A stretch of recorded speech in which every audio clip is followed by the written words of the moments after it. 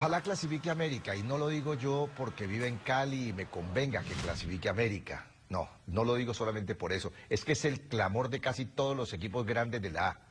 Yo me he encontrado ahora con motivo de la selección Colombia, en Barranquilla me he encontrado con todos los directivos de la A y todos me han dicho lo mismo. No vemos la hora que clasifique América y además me lo han mencionado. Es que un clásico en Medellín entre Nacional y América no es lo mismo que un partido entre América y, Fortaleza o América y Alianza Petrolera o América y Valledupar. Eso no es lo mismo. Entonces los equipos de la A quieren que América se clasifique.